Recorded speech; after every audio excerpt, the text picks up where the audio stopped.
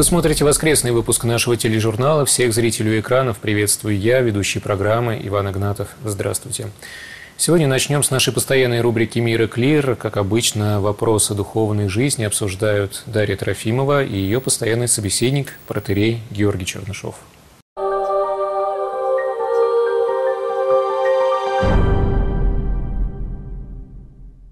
Здравствуйте, отец Здравствуйте, Георгий. Дарья. Отец Георгий, знаете, вот хотелось бы поговорить сегодня о том вообще, что такое крест, который дается человеку, как он дается, вот как, может быть, Господь угу. выбирает, и почему некоторые не доносят этот крест. Потому что действительно, а, мне кажется, вообще даже не каждый человек понимает, какой крест ему дан. И что ему нужно нести, что ему нужно терпеть, ради чего, и вообще как ему себя в этой жизни вести. Вот вообще, что такое крест, как определить человеку, что вообще, он должен нести? Понятно. Вопрос очень серьезный. Как бы очень правильно вы сказали, что некоторые люди и не понимают, что такое крест. Ну, как говорят святые, крест – это то жизненное обстоятельство, в котором в данный момент человек находится. Вот. Крестом может быть и священство, крестом может быть и монашество, крестом может быть и профессия определенная. Да? Вот. Если... То есть крест – это ну, какая-то определенная Богом обязанность человеку на всю жизнь. Я хотел бы здесь сказать, что совершенно понятно, что крест дается Господом, вот, но он не без человека дается Господом. Человек все равно этот крест выбирает. Вот, может быть, чтобы было понятней вот, в, в данном контексте, если поговорить, я бы, может быть, хотел бы, знаете, вспомнить сейчас вот один момент такой очень интересный из своей жизни вот для тех людей, кто все-таки уже понял, что такое крест, а может быть мы потом поговорим более подробнее в другой передаче о крестах, какие они бывают. Вот для тех людей, которые понял уже, что он все-таки крест несет, он свой крест знает, и он его не может донести, и начинает уже, наверное, роптать, что почему, вот как говорят все святые отцы, что Бог не дает креста того, который человек не может донести. Ну почему же я свой крест не могу донести? Почему же мне постоянно тут я падаю под игом этого креста? Знаете, мы недавно встречались с одной инокиней, которую я давно уже знаю, еще знал ее по Борисоглебскому собору, задолго до того, как она стала инокиней одного из монастыря. Ну, вот мы с ней беседовали на духовные темы, и, конечно же, вот проблема креста, она была вот, как бы, может быть, главным, главной темой этого разговора. То есть, как вот бывает, нам на самом деле очень тяжело. Казалось бы, вот вроде понятно, да, вот, ну, вот моя задача, вот мне Господь ее поставил, вот я сам это выбрал, да, но почему меня так сгибает, что иногда приходят мысли, что, может быть, даже отказаться, может быть, это не мое, а еще лукавый вторит и говорит, да, да, это не твое, вообще брось это и возьми что-то другое.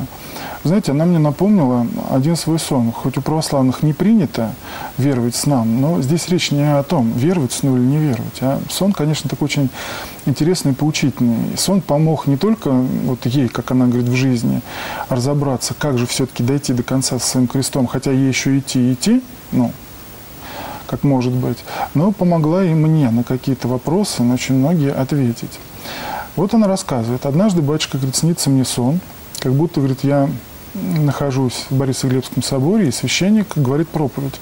И как раз он говорит проповедь о том, что человек не может войти в Царствие Божие без креста. То есть обязательно человек входит в Царствие Божие, э, внося свой крест туда. То есть без креста войти нельзя. И говорит, тут батюшка говорит эту проповедь и стоит сам возле большого, говорит, такого, ну, какого-то мраморного, такого тяжелого-тяжелого креста и говорит, что вот, чтобы вы понимали, что слова священника, они не пустые. Говорит, я беру свой крест ради вас, ради послушания Господу, вот, ради своего спасения. беру и несу его. И вот, говорит, я вижу во сне, как батюшка поднимает свой крест, еле-еле его поднял, но, говорит, так уверенно его держит и говорит, а вот теперь смотрите, вот там, говорит, комната, вы, говорит, зайдите и выберите себе каждый тот крест, который вам, ну, как кажется, больше приглянется. И говорит, говорит мне, а ты, Ирина, там, или Маша, или Марина, иди вперед и выбери свой крест. И говорит, когда я зашла в комнату, говорит, меня поразило просто разнообразие крестов. Говорит, были какие-то такие вот некрасивые, красивые, большие, маленькие. И говорит, я вот выбирала, конечно, говорит, сначала, говорит, хватало те, которые полегче, которые покрасивее, у которых там камни переливались. Вот. Ну, говорит, чуть подержу в руках, и ну, не нравится мне. Говорит, если поймал на той мысли, что я очень долго выбираю, то есть, батюшка, ты так там же крест свой держит, то есть он уже там тяжелый такой крест, а я все выбираю, выбираю. И тут мне, говорит, попадается крест такой черный. Вообще, абсолютно черный крест, тоже как будто как из мрамора сделанный. Я его не могу оторвать. Ну, попробовала, и неподъемный он, и я его отпустила. И пошла другие выбирать. И опять я подхожу к этому кресту. Потом опять другие выбирают, опять подхожу. И кричу, говорит, батюшка через дверь, батюшка, я вроде как нашла свой крест, то, говорит, я его поднять-то не могу. Говорит, не знаю, вот мой он или не мой. А батюшка мне говорит, а это для того, чтобы ты хорошо подумала, брать тебе этот крест или не брать, потому что этот крест тяжелый. Вот. И тогда, говорит, я как-то ну, вот подумал, люди меня там ждут. Я, говорит, все-таки этот крест смогла оторвать от земли. И вот когда, говорит, я его взяла в руки, он начал сильно шататься в разные стороны. Я никак не могу сбалансироваться с ним.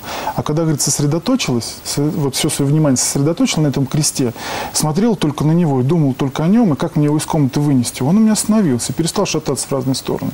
И я, говорит, вышла с ним из этой комнаты и, говорит, иду за батюшкой за своим. Но здесь мне захотелось посмотреть, а кто еще пошел в эту комнату? Кто-то еще за батюшкой пойдет или нет с этим крестом? Ко Христу.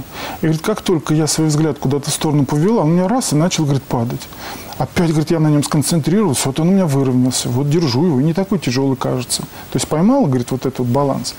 Ну, говорит, интересно, говорит, у меня все-таки есть. Я, говорит, опять в сторону, кто-то там за нами еще пошел. Как только я от него взгляд свой отрываю, он тут же начинает у меня падать, да еще падает вот на меня, как будто сейчас меня предают. Вот, и тогда мне батюшка говорит, смотри на свой крест, на других не смотри. И мы пошли. И вот с этим, говорит, я проснулась. Вот на самом деле, вот когда вот эта Инники не рассказывала про этот сон, Иннокене, я хочу обратить внимание наших телезрителей, сон ей приснился задолго до того, как она пошла в монастырь. Вот сейчас она Иннокене, и уже не первый год в монастыре, и несет вот этот действительно крест черный, то есть монашество. На что хотелось бы обратить внимание? Вот смотрите, тоже интересный момент, да, вот мы очень часто смотрим на других – не на свой крест, который несем, а смотрим на других, как другие несут кресты, несут ли они вообще. Посмотрите, это везде. Это в монастыре. Вот есть тебе, дали тебе послушание, да, поставили тебя на определенную должность. Все, смотри только на свой крест. Не смотри, как это делают другие. Не смотри, как другие падают там, допустим, да, или наоборот, куда ты их превозносят. Сконцентрируйся на несении своего креста и тогда ты дойдешь. Вот отвечаю вот на вопрос, почему многие говорят, что не доносят креста. Я думаю, знаете, вот этот вот, наверное, сон, так он поучительный, и он на многие вопросы отвечает. Потому что мы не смотрим на свой крест, сконцентрировав внимание только на нем. Мы очень часто смотрим по бокам, как тот несет, как тот несет. И еще такой один момент, когда вот мы говорим об этом, обо всем, все мы еще должны понимать, вот ради кого мы этот крест несем. Вот если мы этот крест несем ради спасения, ради Христа и ради себя, тогда мы не часто смотрим, часто, вернее, не смотрим по сторонам. Мы не ждем похвалы от того же владыки, там, да, что он нас похвалит, какие мы молодцы. Мы ничего особенного не делаем. Мы делаем только то, что должны сделать. И поэтому что ты ждешь похвалы или обижаешься, если тебя не заметили в, в твоем труде? Ты взялся за крест? Все, иди и неси его. Допустим, если мы на клиросе да, поем, вот как мы должны петь Богу? Мы поем для кого? Мы должны петь для Господа и для тех людей, которые должны с помощью нашего пения тоже так же как-то духовно обратиться к Господу. Как это нужно делать? Это нужно делать всегда на пятерку, даже всегда больше, чем на пятерку. Это нужно самоотверженно. Как должен священник служить? Всегда больше, чем на пятерку. И не только это священство, и не только это там клирос, и не только это церковные люди, а это, еще раз повторяюсь, вот мы в той передаче говорили о талантах, да, о наших профессиях, которые каждый там выбрал или кому-то дана эта профессия. Но иди ты в этой профессии, делай ты ее лучше всех. Вот именно в хорошем смысле слова. Делай ее всегда на пятерку. Пусть это твой крест, пусть он тяжелый, но ты донесешь Но если его. не получается, батюшка, я, вот многое ведь понятно, многое, да, мы понимаем, что мы должны нести свой крест, мы должны делать это э, ради Христа, мы должны делать это ради Бога. Но вот кто из нас это действительно, вот если честно себе признаться, кто делает это действительно не ради себя, не, даже, может быть, кто-то себе и не признается, но все равно вот доля какого-то э, вот такого гордыни какой-то. Ну, конечно, Она в этом есть всегда. Верит, и иногда, я говорю, даже не подозреваешь ее, но с ней по-любому, получается, нужно ну, бороться. Потому что человеца суть. Вот я и говорю, почему мы не доносим, почему он нас предал? Потому что по сторонам смотрим. Потому что не концентрируем свое внимание на несении своего креста. А что нам может помочь? Вот как-то в этом? Цель. Цель и задача. Ты зачем крест взял? Для чего он тебе дан? Чтобы он тебя привел в Царство Божие. Это, если хотите, твой мостик, который поможет тебе перейти вот по этой дорожке от человеческого бытия сегодняшнего к человеческому бытию завтрашнему. То есть цель и задача. Если ты понимаешь, зачем ты этот крест несешь, да, для того, чтобы спастись, для того, чтобы быть в Царстве Божьем. Все, это самая главная и важная цель для человека. Не Ну, а смотри по средства? сторонам. То есть средства с помощью? Средства к этому, они определены уже давным-давно, уже 2000 лет. Господь говорит, созижду церковь свою, и врата ада не одолеют ее вовек. Это молитва, это церковное общение. Церковь – это не только здание, да, в котором мы ходим молиться. Церковь – это все мы. Это помощь друг другу, служение друг для друга. Ни в коем случае не завидовать друг другу. Потому что когда мы начинаем завидовать друг другу, мы пытаемся взять чужой крест. А ведь знаете, ведь у нас с вами физические силы даже разные на одного нагрузи 50 килограмм, и он будет идти и, и радоваться, как ему легко, да.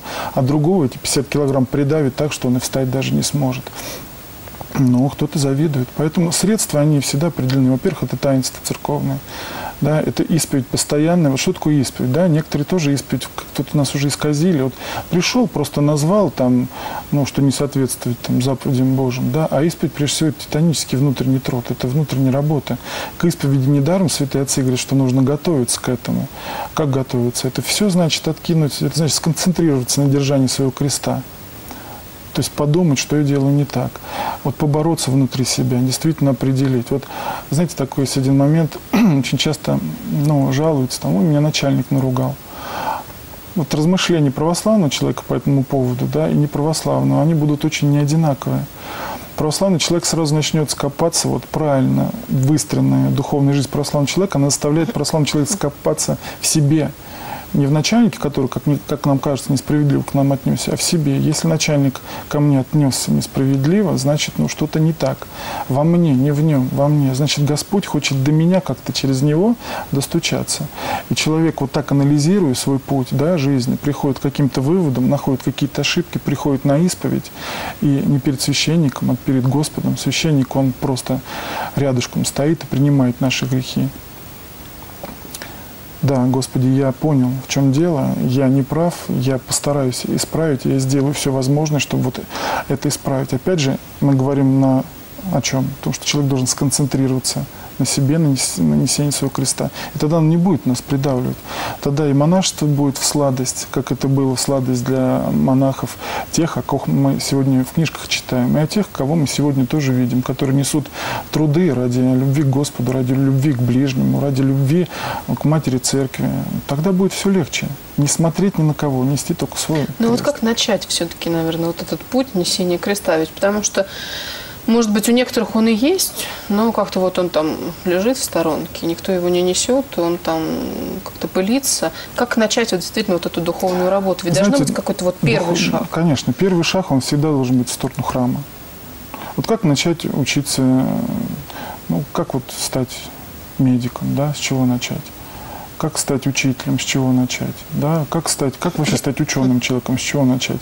Ты сделай шаг в сторону, в ту сторону, где тебя научат быть ученым, да? врачом, там, военным, водителем прекрасным. Там. Так и здесь. Нужно просто прийти в храм. Человек, когда приходит в храм, недаром же говорит, что храм есть институт жизни. Да, есть институт, который учит нас профессии. А храм – это институт жизни. То есть это тот институт, где нас учат, как правильно жить и как правильно спасаться. Зачем правильно жить? Это только для духовных вот людей, которые духовный вопрос волнует, это для них только этот вопрос волнующий. Зачем мне правильно жить? Ну, потому что я понимаю, что вот что-то не так вот во мне, да, что-то вот я все имею. Ко мне недавно пришел мой давний тоже знакомый, мы с ним когда-то в армии служили, уже 20 лет почти назад. Знаете, человек очень, ну, молодец, он парень всегда такой был трудолюбивый, успешный. Вот. Сейчас он достаточно успешный бизнесмен, который, в принципе, ну, добился всего, что касается в материальном плане. Вот пришел и говорит, «Вот ты знаешь, говорит, батюшка, говорит, вот, ну, все у меня есть, все, что нужно человеку, говорит, а я чувствую, что я нищета что у меня нет чего-то такого, что вот должно именно быть у меня. Я понимаю, что все, что вот я заработал до этого дня, да, вот, я там обеспечил, я кому-то что-то помог, но у меня-то чего-то не хватает, я чувствую себя нищим. Я ему просто предложил прийти в воскресенье в храм. Я говорю, ты просто приходи в воскресенье в храм и просто побудь на службе. И, может быть, ты что-то поймешь. И вы знаете, слава Богу, он вышел с, из храма, улыбаясь, он сказал, я говорит, знаю, что нужно искать. Я говорит, знаю, чего у меня нет. Я знаю, чем я должен обогатиться. Я знаю, что главное. И вот когда человек начинает это искать, и когда он уже начинает идти к Богу, да, то тогда он и понимает вообще, с чем он должен туда прийти. Но ведь люди в храме очень многие есть, которые не несут своего креста. Не несут. Есть такие люди. Конечно, не... есть. Это ну что, это не секрет, это есть. Так же, как есть врачи, которые не лечат. Правда ведь? Также есть, которые, ну, военные, наверное, которые просиживают. Также есть и полицейские, которые не защищают. Также есть и уборщики помещений, которые моют халатно. Все это везде есть. Но здесь, опять же, дело каждого человека. Вот смотрите, мы замечаем этих людей в храме, да? А мы их, по большому счету, не должны замечать. Вот их должен заметить священник, пастырь которого поставил Господь, чтобы руководить пастором, вот он должен заметить этих людей, которые не несут своего креста, не хотят его нести. Или, что еще самое страшное и самое больное, когда свой крест перекладывают на других и пытается рядышком пройти. Вот это должен заметить священник и сказать человеку, что ты, дружок, не обольщайся, ничего нечистого в Царство Божие не войдет. Ты должен этот путь пройти, не перекладывай ни на кого, ты должен это пронести. Ты должен учиться терпению и смирению. Вот и все. А мы, мы, те люди, которые в храме, мы не должны замечать этих людей по одной простой причине. Возвращаясь к тому сну, о котором я рассказал, что как только мы начинаем смотреть в сторону на кого-то, наш крест начинает очень сильно играть, балансировать, и мы его удержать не можем. Вот и все. Поэтому как бы здесь вот, ну, я думаю так, приоритет больше для священника, который к этому поставлен. Вот смотрите, как тяжело. Он должен свой крест нести на своем кресте должен быть сконцентрирован. И сколько он еще должен крестов поднять, сколько он должен еще вручить кому-то, кто бросил, уже сказал, я не понесу. Я не могу, я не донесу. А батюшка, держа свой крест, держа свой крест, должен присесть с ним рядом и сказать, дружище, бери, это твой. И он самый легкий самый хороший, самый удобный. Ты просто его почувствуй, просто пойми. Ты просто сконцентрируйся на нем. Пойми, в чем смысл этого креста. Ведь ну, крест, мы, некоторые полагают, что это вот так вот и понимается, как бы, да, что-то такое вот материальное. А крест – это ведь духовное состояние человека. Ты пойми, почему эта жизненная ситуация для тебя дана. Зачем она тебе? Вот когда человек концентрируется на этом, когда он копается, он понимает для чего. И тогда он с этим идет, и живет, и спасается. Ну что ж, отец Георгий, спасибо большое за ответ на вопрос. Дай Бог нам мудрости и сил нести наши кресты и донести их. Да, быть внимательными и все-таки не смотреть по сторонам, как кто несет свой крест, нести свой крест прежде всего. Еще раз спасибо, всего доброго, до, до свидания. свидания.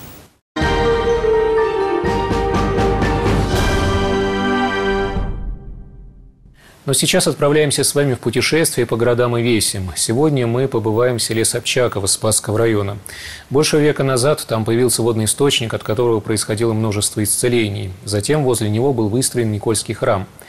Впрочем, приходская жизнь здесь была прервана в 30-х годах прошлого века. Потом пришло запустение, церковные здания пытались взорвать. Но два года назад местные жители решили храм восстанавливать. Историю Собчаковского источника и храма изучил Глеб Кипарисов.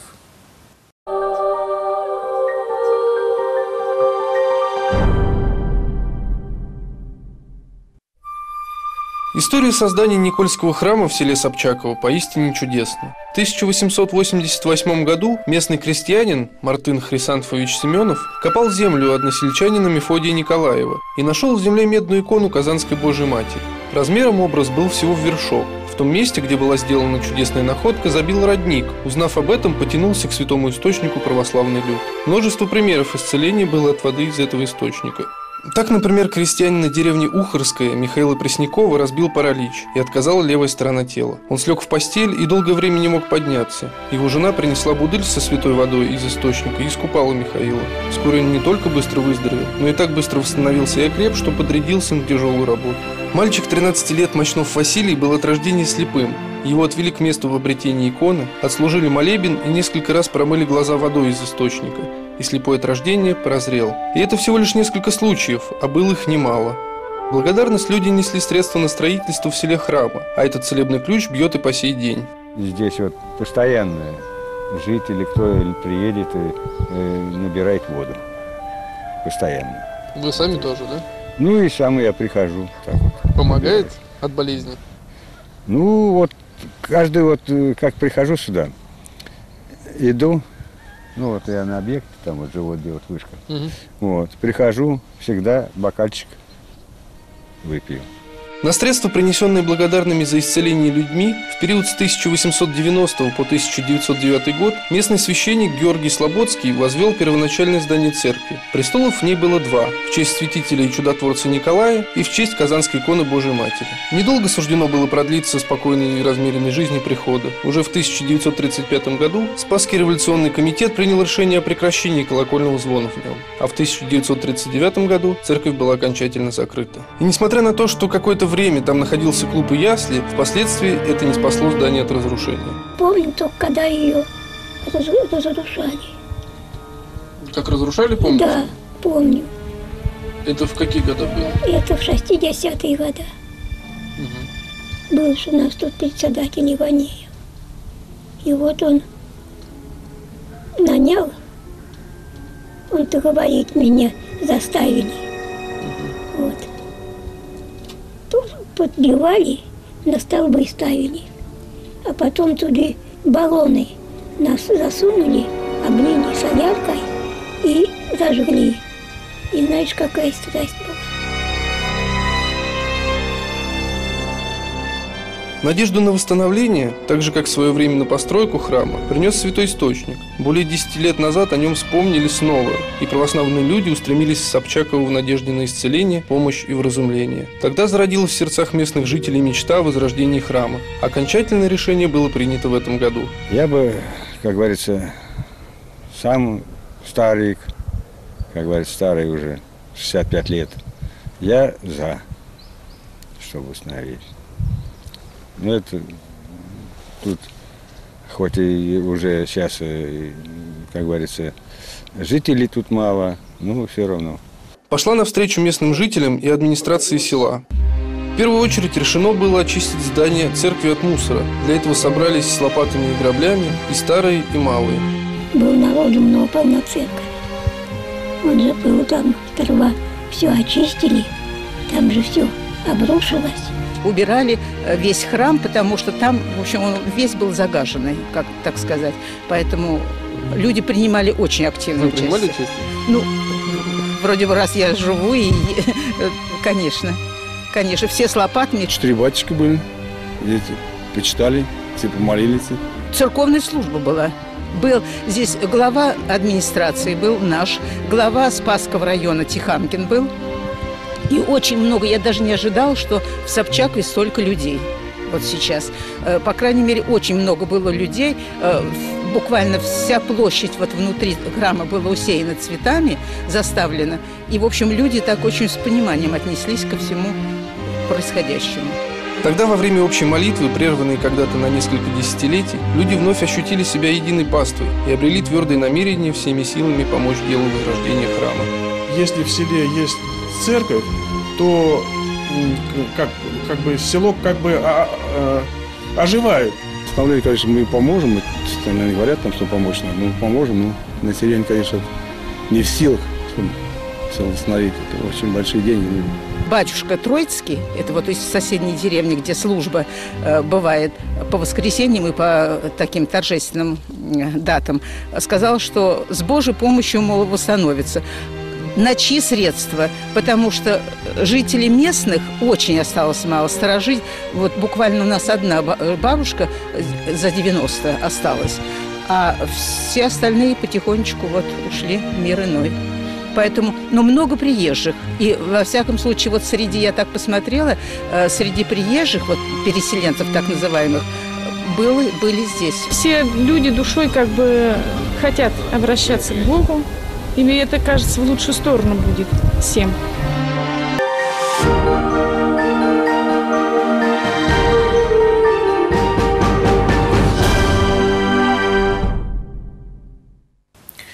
И это все на сегодня. В студии был Иван Игнатов. Я прощаюсь с вами до следующей программы и желаю всего доброго.